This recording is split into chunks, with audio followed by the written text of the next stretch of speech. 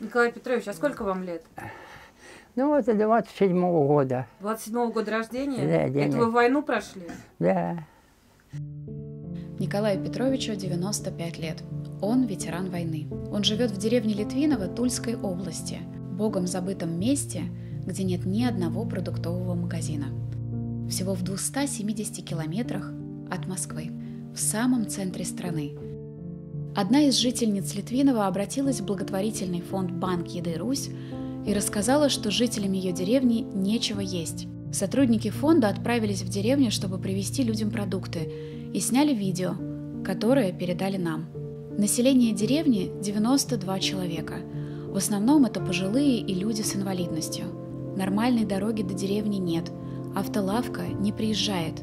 Зимой добраться до Литвинова можно только пешком. Ближайший магазин, а заодно и место, где ловит интернет, находится в соседнем поселке. Вот я сейчас иду домой. Находится это от буревестника. Если напрямки, то 2 километра. Если вокруг, то 5 километров. Ольга – староста деревни. Это она написала в фонд с просьбой о помощи. Она хорошо знает, какие проблемы у жителей, и она чаще всего сама покупает продукты тем, кто не может дойти до магазина. Люди запасаются, когда я ношу, по 10-15 буханок привожу на одного только человека. Ольге самой нелегко. Она одна растит сына, у них у обоих инвалидность. Весь ее доход – это пенсия по инвалидности – 8 тысяч рублей.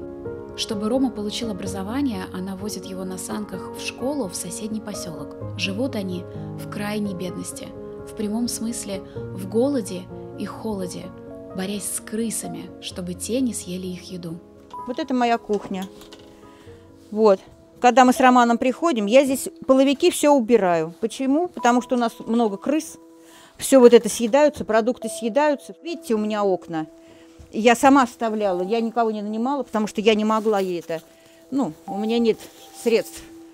Вот это вот. Я сама делала вот это вот окно. Я его купила, это пластиковое окно. Вот. Все вот это закрываю, дует. Да интернета у нас здесь нету.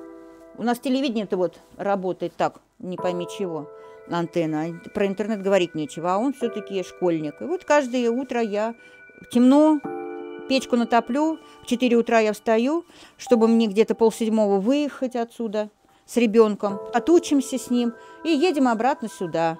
Приедем, печку опять топлю, все топлю, всю ночь можно топить печку. А укутываемся одеялами.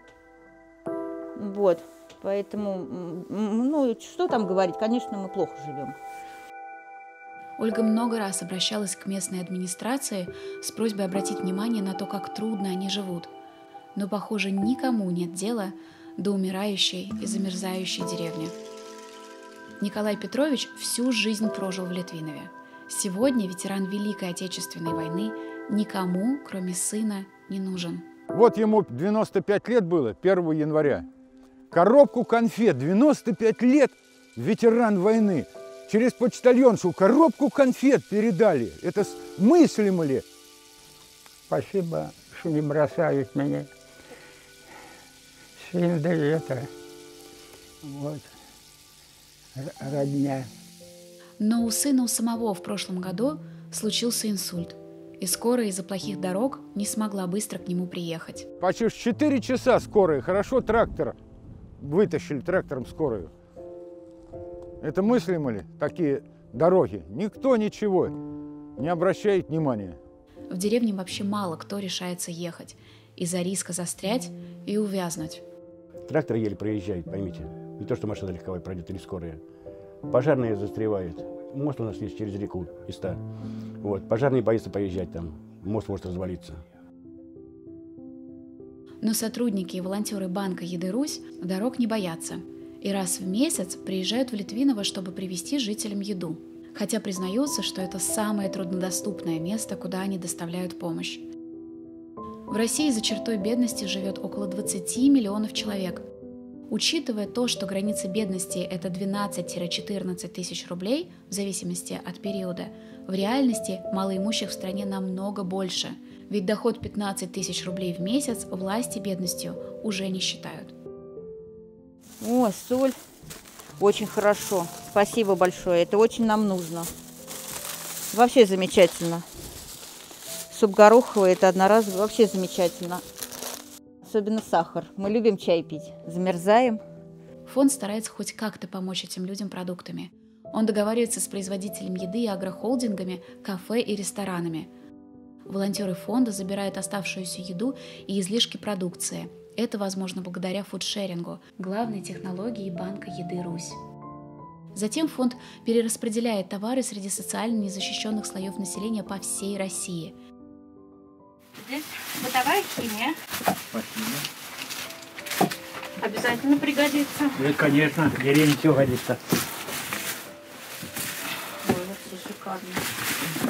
С 2012 года, когда был создан фонд, он передал нуждающимся 50 миллионов килограммов продуктов, средств личной гигиены и бытовой химии.